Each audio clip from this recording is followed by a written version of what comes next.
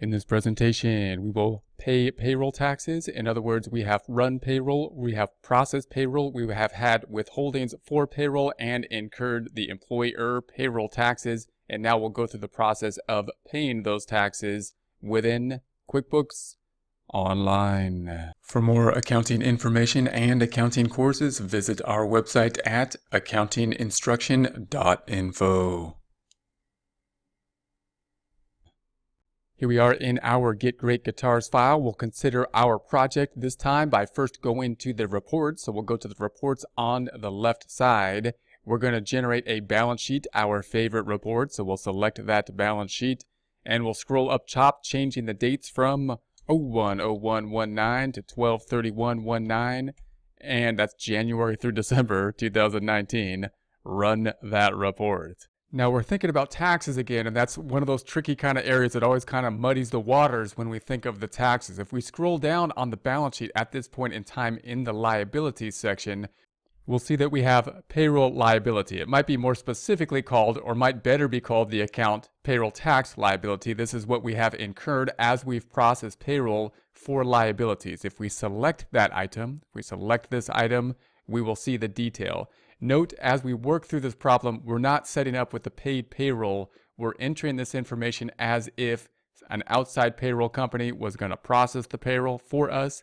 And then we took that information and entered it into our system with the use of checks and journal entries as we would if we had an outside system to process the payroll. Note once again, there's multiple ways that we can process the payroll within QuickBooks. QuickBooks has different formats and different levels of service within payroll, which would be an add-on service. We may look more into payroll itself specifically at a later time and think about some of the paid options within QuickBooks to process payroll. Whether we do payroll within QuickBooks or outside of QuickBooks, use QuickBooks as support or someone else as outside support outside of the QuickBooks system, we still have to enter that information into the system and have some idea of what it's doing within the system so that we know and have assurance that we're recording the information as we should and that we're paying the proper payroll, doing the proper withholdings, handling our responsibilities with regard to our employees and their payroll taxes and our payroll taxes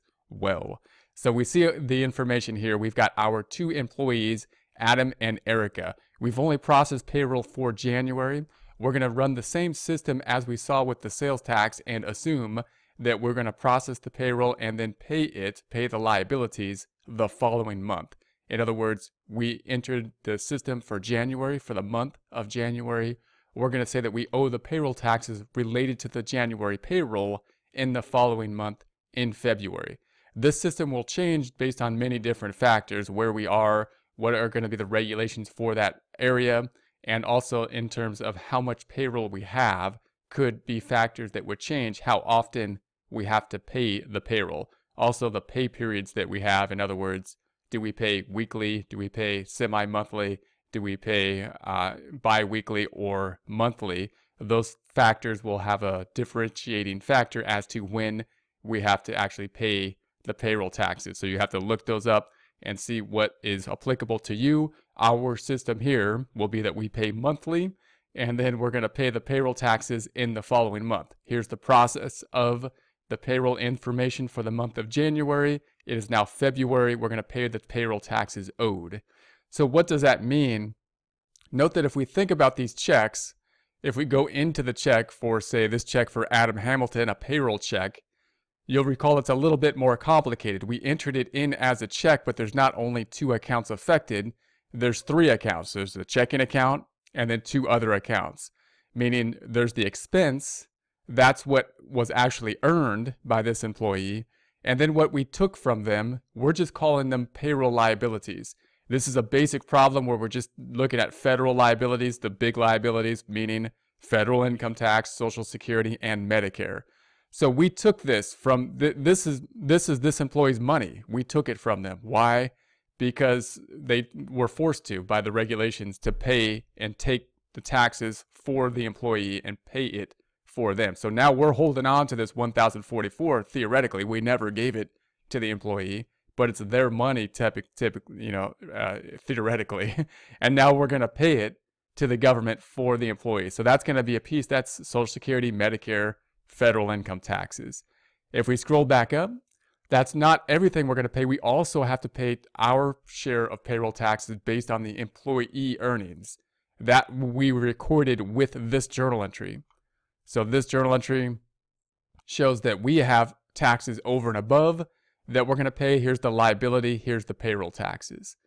Now, again, how would we know this if we had an outside CPA firm doing it? They would give us some type of report. Here's just a simple uh, type of report that we could get with our two employees. And you can see how complicated it can get just with a couple employees uh, and how the payroll taxes work. So remember what we have. We've got these two employees. We'd get a report, and this would be their total earnings. We're saying they earned this much, respectively, between Adam and Erica. Then we took out Social Security from them. So this is part of what we owe. We haven't paid it to the government yet. We took Medicare from them, and then we took uh, we took federal income tax from them. These are just the federal taxes.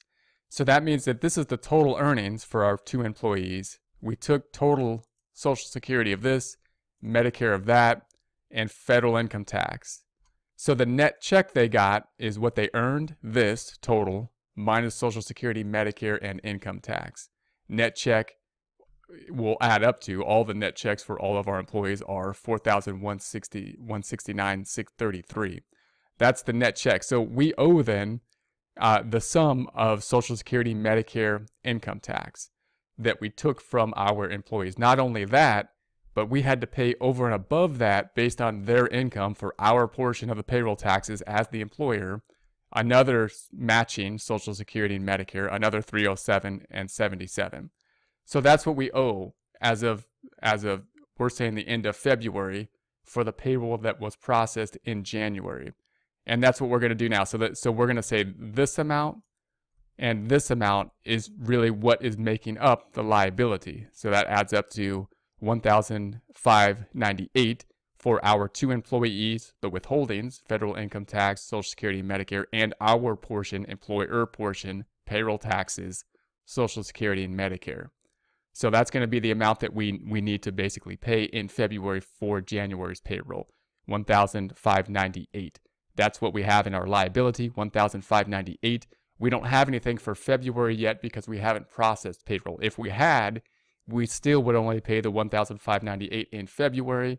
We'll pay whatever's owed for February payroll in the following month in March. Now note that if we had the paid payroll, we can go down to the payroll activity and it'll process payroll in a similar fashion as we did with the payroll taxes. It would say we would enter the information into the paid payroll for uh, QuickBooks. It would then accumulate the taxes that were owed for us and then tell us, hey, this is how much you owe at this point in time. And it would help us to go through the process to make the withholdings, write the correct amount of the check, and then write the check to whoever we owe, including the federal government and any state governments that we owe. But note that we want to have some concept or idea of this so that we have some idea if something goes wrong because it is possible that something could go wrong. And when it does, payroll can be somewhat complex. So it is good if you get the support within QuickBooks or you get some support outside of QuickBooks to help with payroll, even if it's going to be, um, even if your payroll is fairly simple. So it's something we would advise to uh, take take a look at and get some outside advice on what's the easiest and best method to uh, process, set up the payroll, and get some advice in case there's any problems with that payroll setup. So we're going to go ahead and go through this process of paying the check now. In our system, we're just going to, of course, write the check for what we now owe to who we owe, which is basically the IRS, the government. The government's going to collect all of this that we took out Social Security, Medicare, federal income tax, our portion of Social Security and Medicare. Those are all federal taxes, different forms of federal taxes. We may have to write them with different checks depending on you know how the system's going to be set up. We're going to write one check for all the uh, federal taxes in our example problem. To do that, we're going to go up top to the plus item up top and we're going to write a check. We're going to write the check to the Internal Revenue Service. That's we're going to have to set up a new vendor. So it's going to be the Internal Revenue Service. So there we have it. We'll say tab and set it up. I'm not going to put any more detail other than the name. We're going to say save. It's going to come out of the checking account. Then we'll go down to the category down here and we're going to pay off the liability. So we're looking for the payroll liability account. It's, it's going to be down here. We can find it in the liability section. I'm going to start typing it in. Payroll liability. So we want to make sure to pick up the liability, not the expense tab. And I think we are going to break it out between the types of taxes we're going to pay. We're going to pay the IRS, but we'll break it out between FIT, federal income tax, uh, Social Security, and Medicare. So this is, we could put in the description, January federal income tax, FIT. The amount, if we go back to our form here, it's going to be 830. So we'll input the 830 for the amount, 830. And that's going to be the first one. So now we're going to say save and new, and we'll make another one for Social Security and Medicare. So we'll say save and new. And then we'll have another check that will populate for us. We're going to enter this check uh, to the Internal Revenue Service as well, Internal Revenue Service checking account. The same date, the end of the month, check number should populate for us. And now, of course, it's trying to memorize that transaction. The category is good, but the memo we want to now change not to January FIT, but January Medicare. So now we want the January Medicare. The amount of the January Medicare is going to consist of both the employee portion and the employer. So we're going to have the 77 and the 77, the employee and employer portion, or the 154. So if we go back over, then we'll write another check related to just the 154 for Medicare. Then we'll do another one, one more for Social Security, breaking that out in its component of Social Security. So we'll say save and new. Once again, it's going to the Internal Revenue Service, another check for payroll taxes, same date. We're going to scroll down. Payroll taxes is correct, but now we want January med, uh, Social Security. So we're going to say this is Social Security.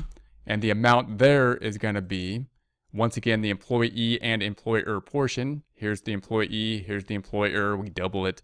That's the 614. So we're going to go back and say, all right, that's uh, 614, and that'll be that amount.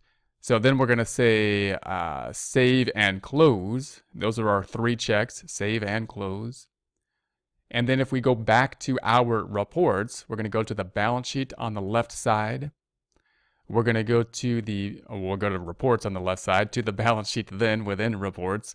Scrolling back up, we're going to change the dates from 010119 to 123119, January through December 2019, and run that report. Scrolling to the checking account, looking at that checking account, we scroll down, we have our three checks that we should have been written as of the end of the time period. Here they are. They're a little funny order, but they're all in the 28th. We've got the IRS, the Internal Revenue Service, the Internal Revenue Service. Those are our three checks for the uh, federal income tax, Social Security, and Medicare. Then if we go to the other side, it's going to payroll liability. So let's go look at payroll liability now. If we scroll up top and go back to the balance sheet, we're going to go to the liability account, which is payroll liability. It's now at zero because we paid it and we haven't processed payroll for February yet. So if we select this item, we'll see, okay, here's Erica, here's uh, Adam these are our two employees. We processed those those employee payroll, and then we have the liabilities related to that payroll that have been recorded here. We have the journal entry increase, and here's the total liability. Now we're going to pay that. We paid it with three three checks based on the type of liability we're paying: Social Security, Medicare, federal income tax, and we've paid it off. Now we're back down to zero, just like any other type of payable account. Just note that we may have some timing differences because if we had processed payroll for February in our system, we then would have a liability still outstanding for February, which we would then pay uh, in March. So we're always going to be a month separate. And again, that system's going to differ depending on whatever our payroll structure is. Do we pay weekly? Do we pay monthly? Do we pay semi-annual? Do we pay semi-monthly? Do we pay bi-weekly? And what are the regulations in terms of when do we have to pay the payroll withholdings that we've withheld and the payroll taxes? What how long do we have after the payroll has been processed before we have to pay it? That will differ and so you're going to have to look up, up whatever specific rules are related to you. Uh, the system quickbooks can of course help to set that up.